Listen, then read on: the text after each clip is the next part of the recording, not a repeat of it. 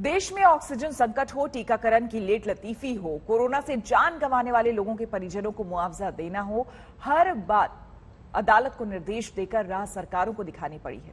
अब कांवड़ यात्रा को लेकर भी यही हुआ है।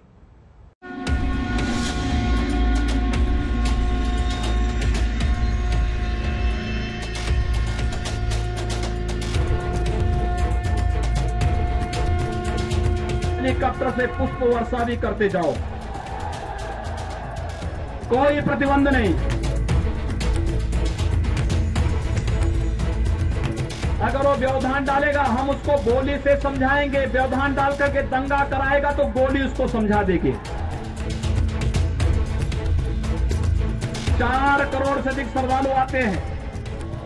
कहीं भी कोई बाल बांका नहीं होता।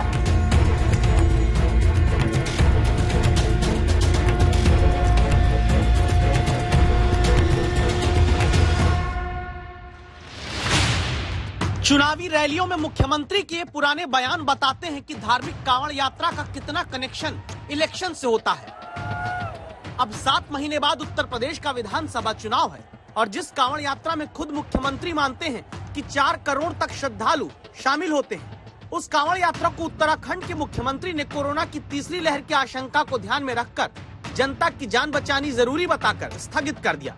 लेकिन उत्तर प्रदेश के मुख्यमंत्री योगी आदित्यनाथ ने इजाज़त दे दी। तो कोरोना के संकट काल में कावड़ यात्रा को लेकर सुप्रीम कोर्ट ने खुद संज्ञान ले लिया।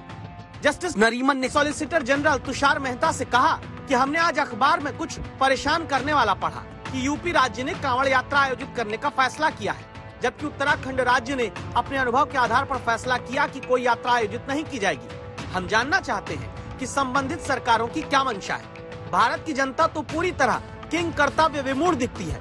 वो नहीं जानते कि क्या हो रहा है। और जब प्रधानमंत्री से देश में कोविड 19 की तीसरी लहर के बारे में पूछा गया तो उन्होंने कहा कि हम थोड़ा सा भी समझौता नहीं कर सकते। कभी कभी लोग सवाल पूछते तीसरी लहर की क्या तैयारी की है? तीसरी लहर के लिए आप क्या करेंगे?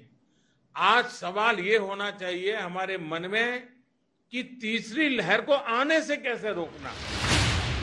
तो सुप्रीम कोर्ट के मन में अब खुद से संज्ञान लेकर यह सवाल है कि तीसरी लहर की आशंका के बीच कांवड़ यात्रा कराने के पीछे उत्तर प्रदेश की मंशा क्या है? इस मंशा को जानने के पीछे वजह, ये भक्तों की भारी भीड़ भी है।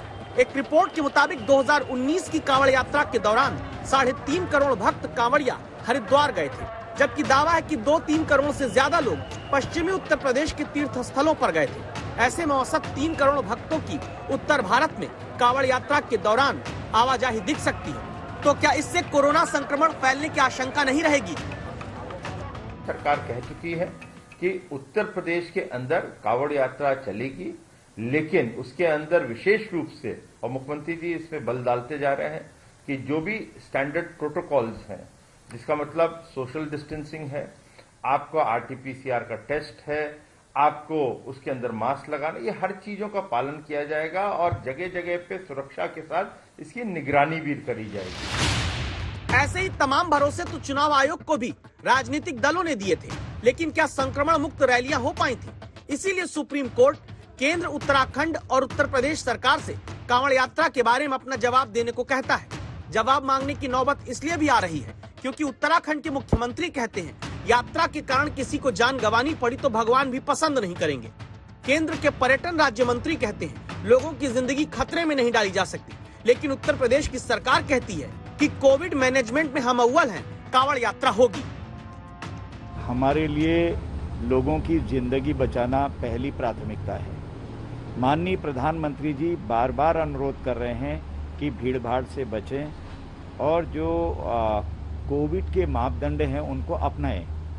तो हमने भी प्रार्थना की है सबसे और हमारी सरकार ने आज कह दिया है कि वर्तमान परिस्थितियों में किसी भी तरह से हम लोग कांवड़ यात्रा नहीं चला सकते हैं।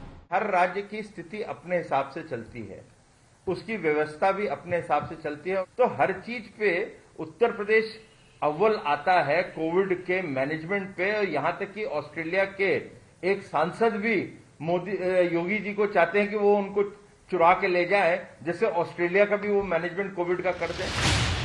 तो क्या यूपी की बीजेपी सरकार को उत्तराखंड की बीजेपी सरकार पर कोविड मैनेजमेंट का भरोसा नहीं है? या फिर चुनाव नज़दीक देख कावड़ यात्रा कराना ज़रूरी मान लिया गया? यही कारण है कि देश की सर्वोच्च अदालत ने नोटिस देकर अब सरकारों से जवाब मांगा है। अगली सुनवाई 16 जुलाई को है। लखनऊ से समर्थ श्रीवास्तव के साथ संजय शर्मा, दिल्ली आज तक।